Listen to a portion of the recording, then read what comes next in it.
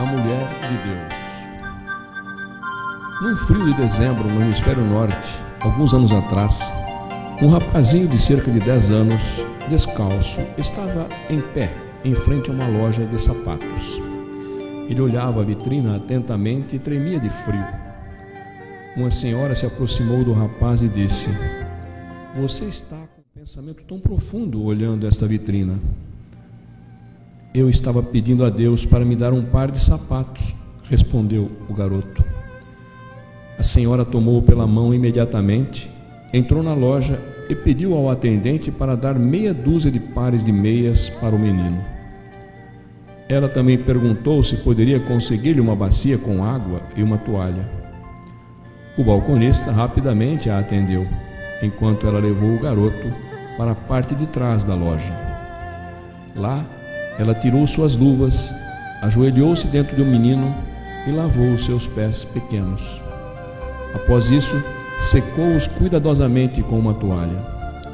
Nesse meio tempo, o empregado da loja havia trazido as meias e, claro, um belo e novo par de sapatos. Ela amarrou os outros pares de meias e também lhe entregou.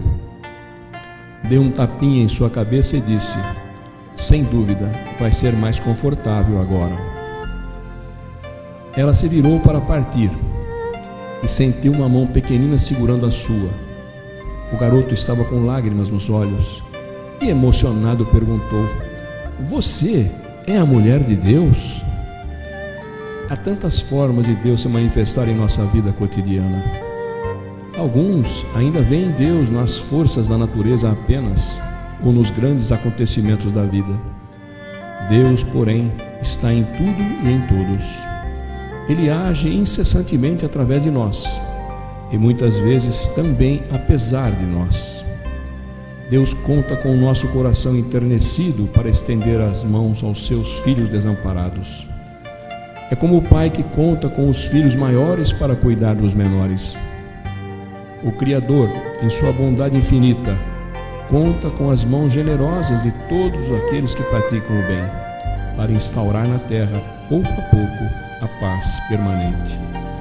Ele conta com a sensibilidade e compaixão daqueles que não suportam ver o sofrimento alheio e tomam atitudes imediatas para amenizá-lo de alguma forma. Ele conta com a coragem dos filhos esclarecidos que já podem defender os fracos, ainda tão maltratados pelos interesses mundanos reinantes. Deus conta conosco, conta comigo e com você, se depara admirado por encontrar essa verdade tão valiosa em seu caminho. Não perca a oportunidade de trabalhar com Ele, de ser seu veículo, seu agente direto.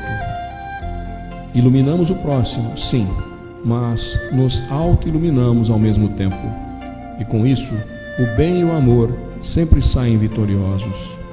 Sejamos instrumentos de bem na terra, onde quer que estejamos, através de tantas maneiras possíveis.